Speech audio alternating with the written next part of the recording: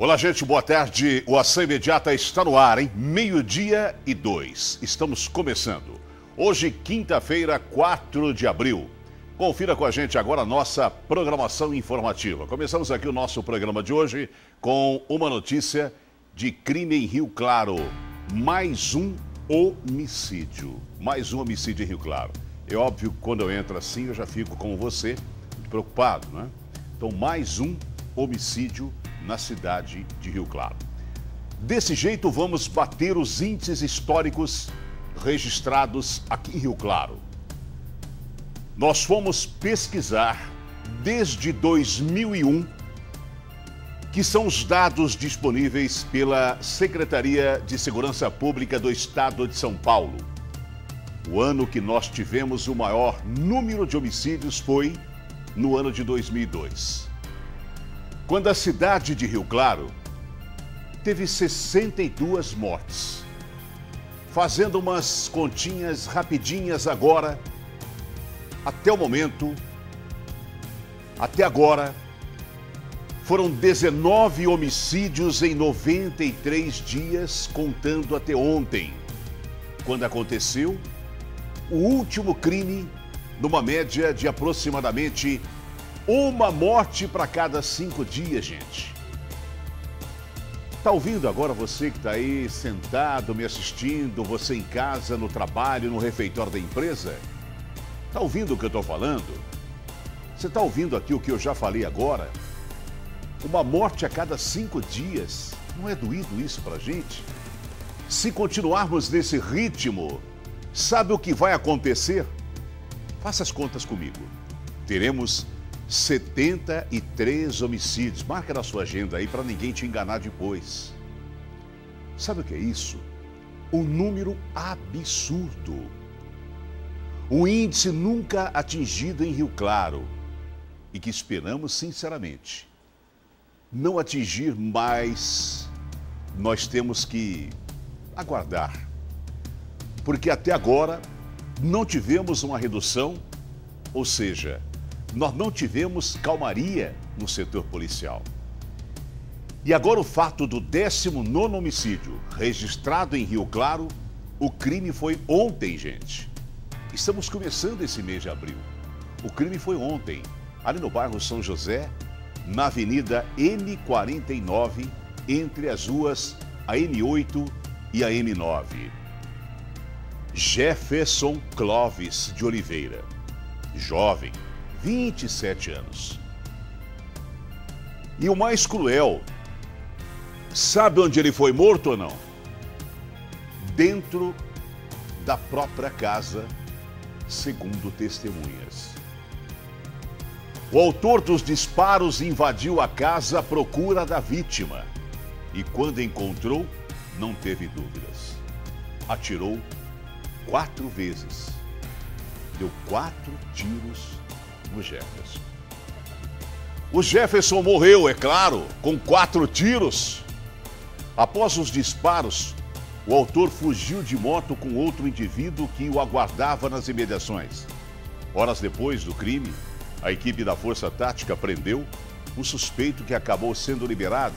Foi solicitado exame de resíduo de pólvora para saber se ele fez disparo de arma de fogo. O caso segue agora sendo investigado pela DIG. Esse, isso aqui que me preocupa, sabe? O, você está perguntando, não tem imagem, Antônio Carlos? Hoje nós não colocamos a imagem para não chocar o telespectador. Porque aquela imagem que vem aqui, eu saio daqui do programa, eu fico mal um tempão, entende? Eu quero dizer para vocês que eu sou sincero. Então nós não colocamos a imagem para você hoje para dar uma avançada na coisa. Mas quando fala a polícia vai investigar, será que vai investigar? Agora o desafio, meus amigos delegados de polícia. Em Rio Claro, todos estão já para aposentar. Já estão velhos, já estão cansados de trabalhar. A Polícia Civil trabalha com pouca gente, tem muito trabalho. O governo do Estado não dá um apoio devido à Polícia Civil. E se não houver investigação, os crimes vão crescer e aumentar. Não interessa se for para derrubar o bandido, se foi acerto de contas ou qualquer outra coisa. Mas a verdade é essa. Vamos colocar a hipótese que o governador amanhã dê uma, uma colocação de que todos têm que aposentar, Rio Claro fica sem delegado. Sinto muito em dizer a você essa realidade. Rio Claro fica sem delegado. Ainda pela manhã, o corpo do jovem não havia sido liberado pelo IML para o velório que deve acontecer agora à tarde aqui em Rio Claro. E ainda, eu não tenho bem oficial essa resposta, mas afirmam que o jovem não tinha passagens pela polícia. Não quer dizer também que realmente não tinha uma configuração com algum segmento e tal, mas não nos cabe um julgamento aqui. Agora, eu quero lembrar a você o seguinte: essa investigação tem que acontecer em todos os casos e não vem acontecer no Rio Claro. Ora, veja, eu tomo conhecimento que flagrantes o delegado libera, não aparece, inquérito policial, escrivão que faz. Eu sei que tem gente boa, autoridades, me assistindo agora. Eu falo para vocês, está na hora de começar a dar um basta nesse sistema e a resposta que nós queremos não é essa. Já em Araras, um crime brutal choca a cidade. Uma adolescente de apenas 14 anos foi encontrada morta com sinais de violência em um canavial. A reportagem na tela. Beatriz da Silva saiu de casa para cortar os cabelos pela manhã e não foi mais vista. Ela era moradora do bairro Jardim das Nações 2 de Araras.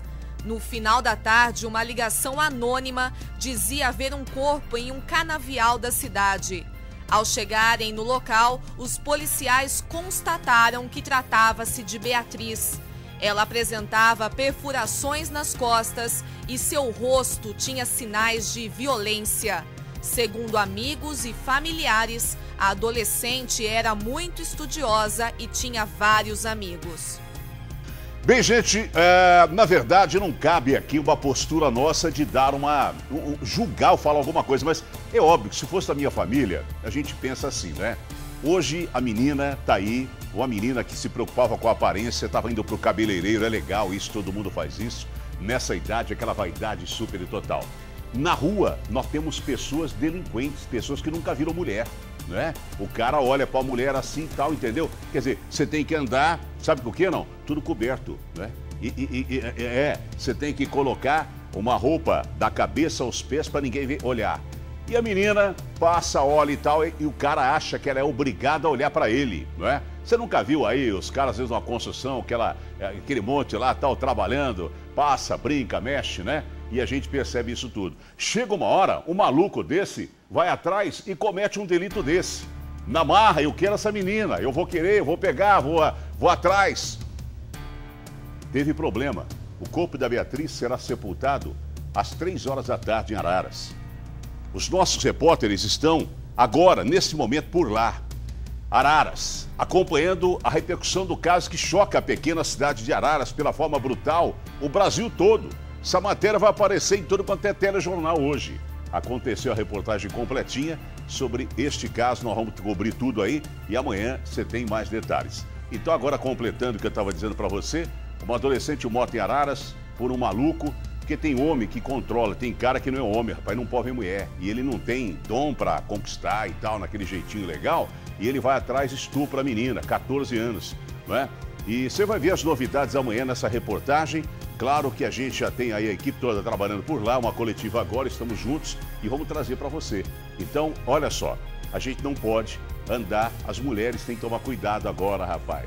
Tem que andar, né? É, e o lugar que tem essas mulheres, os caras não vão, você percebeu não? É, não tem. Falar nisso, Jardim Público, tá você dá uma olhada lá, viu? O negócio lá tá um, ó, tá um prostíbulo, meu velho. Tá um negócio complicado ali. E as equipes do Ação Imediata acompanharam também a operação saturação feita pela Polícia Militar aqui em Rio Claro, né? Aqui em Rio Claro. Num dos pontos, uma averiguação de tráfico de drogas no bairro Cidade Nova, que acabou com uma apreensão de entorpecentes. Confira comigo agora. Roda o VT. Boa tarde.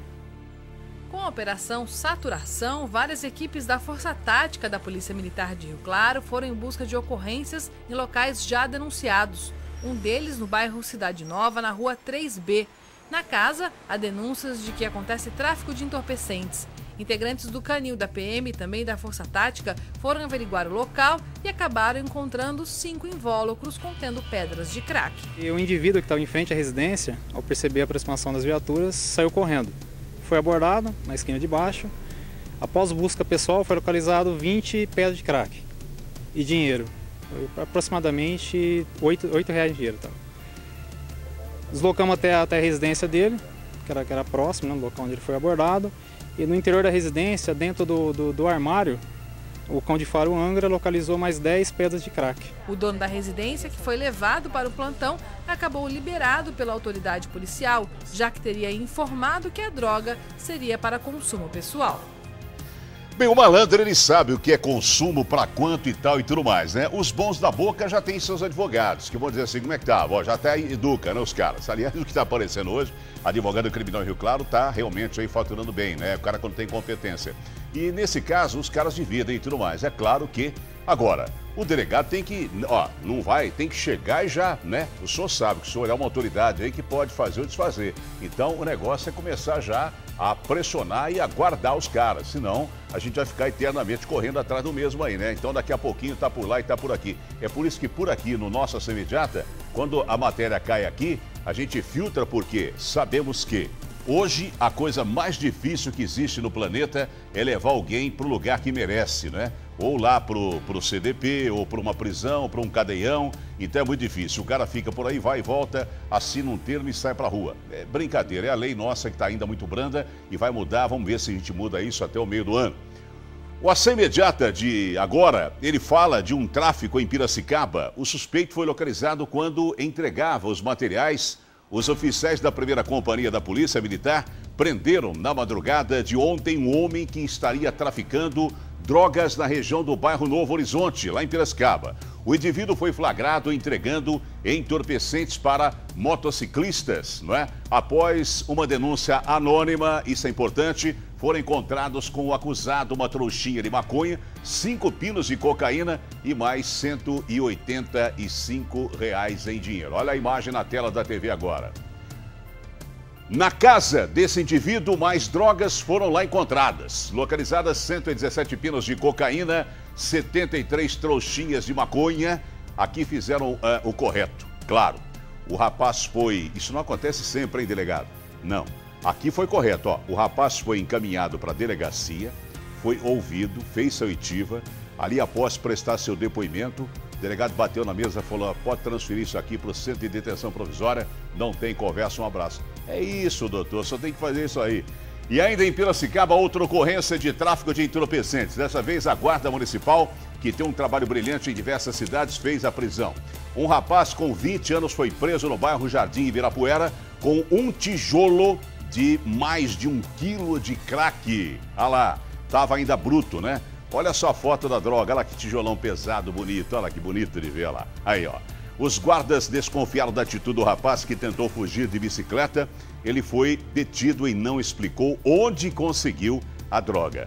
O indiciado já tinha passagem pela polícia por tráfico de entorpecentes. Isso é que mata, né? Tá vendo? O cara já tinha passagem pela polícia, já tinha passagem e tá nas ruas. Então é realmente é isso aí que acontece, olha. O negócio vai e vem, vai e vem, fica para cá, não acaba, se pega aquele, tem outro lugar e assim vai. E ontem o setor policial esteve muito movimentado. Um rapaz de motocicleta acabou fugindo ao avistar a viatura da polícia. Ele estava nessa moto. Coloca as imagens na tela agora. Olha a motona que ele estava lá fugiu. Ele percorreu várias ruas da cidade até ser detido pela Polícia Militar. Aqui o cara foi bom também. Na rua 6, com avenidas 10 e 12, durante a abordagem, o rapaz que já tem passagem pela polícia disse que fugiu porque o documento da moto estava vencido. Com ele não foi encontrado nada, mas a informação é que se tivesse com algo ilícito, poderia ter dispensado durante a perseguição policial. Ele foi encaminhado para o plantão policial aí. E ainda, de repente, numa dessas, o cara nem habilitado é para tal, para fazer toda essa desordem na cidade. Então o policial agiu corretamente, gostei dessa situação e assim tem que ser. Pegou, ah, vamos lá, enquadra e manda para o lugar que merece. Não dá moleza, não. O intervalinho agora, nossa imediata, meio-dia e 17, eu volto já já.